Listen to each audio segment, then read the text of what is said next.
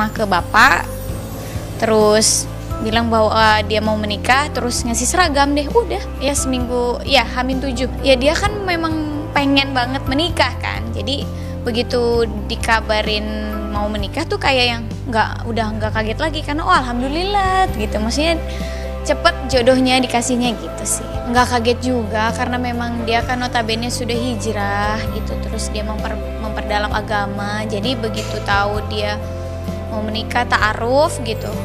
Yang kayak alhamdulillah masya allah maksudnya jalannya dia teh cepet gitu dan dipermudah gitu. Makanya nggak juga nggak kaget. Sebenarnya dia juga yang kayak agak-agak gimana ya? Maksudnya dedenya aja biasa aja tapi ternyata orang tuh sampai yang sepeduli itu ke dede gitu. Se sampai yang kayak oh ternyata orang sampai memikirkan perasaan dede padahal mah dedenya aja kayak biasa aja gitu. Pas begitu ke sana tuh ya karena memang pikirannya udah Aiki mau nikah dia kakak aku gitu keluarga aku jadi nggak ada perasaan yang gimana gimana apalagi banyak yang pastilah e, ngomong senyum luarannya mah senyum tapi hatinya mah pasti remuk gimana ceritanya? Orang jelas-jelas Dede juga udah lama juga tidak menjalin hubungan dekat dengan Aiki gitu. Toh juga kita juga baik-baik gitu nggak ada apa-apa. Jadi kenapa harus dibikin remuk hati dibikin sakit hati gitu? Nggak ada. Kenapa harus dibikin remuk hati dibikin sakit hati gitu? Nggak ada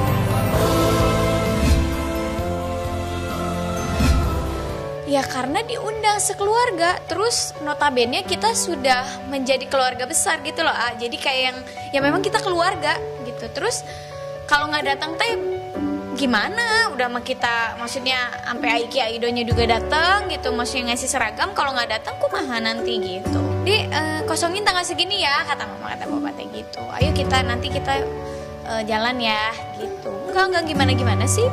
Keluarga mah kebetulan lagi kosong juga sih ya dede bilang selamat terus selamat berbahagia terus mudah-mudahan ya doain aja gitu-gitu.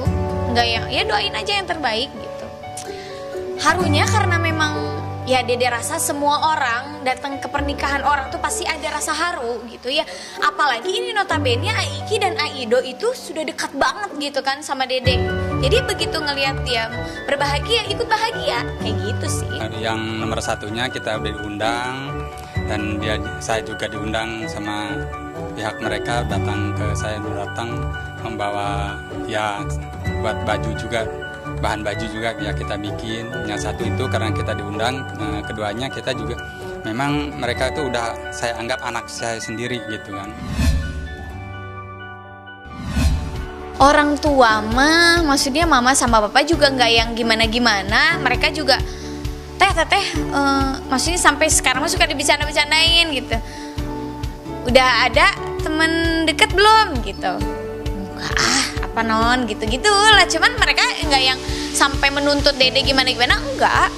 Terus ya udah sok temenan. Maksudnya e, nikmatin aja dulu masa-masanya gitu memperbaiki diri gitu katanya maksudnya e, yang nggak baik diperbaiki lebih memperdalam agama memperdalam segala macam yang baik-baik lah katanya gitu kalau dari orang tua mah. Nah, kalau masalah itu saya pilih-pilih saya udah udah banyak yang ngebully ya udah sering saya bilang. Yang penting anak saya suka yang penting anak saya bahagia pasti saya terima. Dia udah umurnya sekarang udah 21 tahun ya. Sampai detik ini belum ada sih yang datang ke rumah eh, misalnya dengan tujuan ingin melamar Lesti terus saya tolak nggak ada sih sebenarnya. Apa? Justru malah masa lalu itu harus dijadikan pelajaran. Kan dalam Islam nggak ada pacaran gitu ya. Kalau bisa mudah-mudahan Dede juga bisa mengikuti jejaknya Aiki prosesnya dengan taaruf. Ya pengen lah Dede juga ngerasain proses yang ya memang di jalan di jalan Allah di jalan yang baik. Nggak? Belum. Karena e, buat Dede Dede pengen fokus dengan dengan kebahagiaan Dede, Dede sendiri Dede pengen fokus dengan keluarga ya doain ya mudah-mudahan Dede uh, didekatkan jodohnya, amin. Terus ya Dede juga dimantapkan hatinya.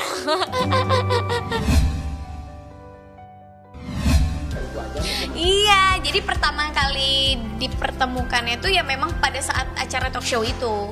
Satu frame. Dede juga? Kayak Rizky Bilar, oh yang kemarin ditinggal nikah gitu. Oh ini ya Dede pikir orangnya kalem gimana tapi ternyata asik. Bercanda gitu-gitu. Itu baru pertama kali sih pada saat itu. Dan pertamanya eh belum apa-apa dia udah nanya gimana perasaan eh, ditinggal nikah? Hor gitu. Bercandaan. Enggak juga sih.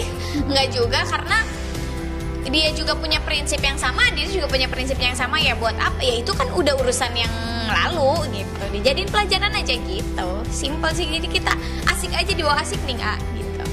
Ya kalau netizen mah gini ya DDT dekat sama dekat sama temen cowok ini misalkan jalan dibilangnya deket juga. Jalan sama temen cowok yang ini dibilangnya deket juga gitu. Jadi udah hal yang udah hal yang bukan bukan hal yang kayak baru-baru gitu loh ah jadi yang ya udah biarin aja sok aja terserah mereka mau mau ngejodoh-jodohin juga gitu. Yang penting mereka seneng aja gitu. Dan nggak merugikan dede udah gitu aja. Nama sama bukan berarti karakternya juga sama. Pasti orangnya juga beda gitu. Terus orang orang satu daerah pun belum tentu karakternya juga sama gitu. Jadi yang nggak masalah. Kenapa? Emangnya kan nggak apa-apa. Dia juga sama Karis kita temenan gitu. Temanan aja teman aja Seperti yang udah Dede bilang, kalau dijodoh-jodohin ya nggak apa-apa. Kalau misalnya netizen doa-doain apa ngejodohin, ya kalau yang terbaik ya aminin aja. Nggak masalah sih kalau mau dijodohin sama siapa, sama siapa aja. Sah-sah aja Pak ya. Sah-sah aja.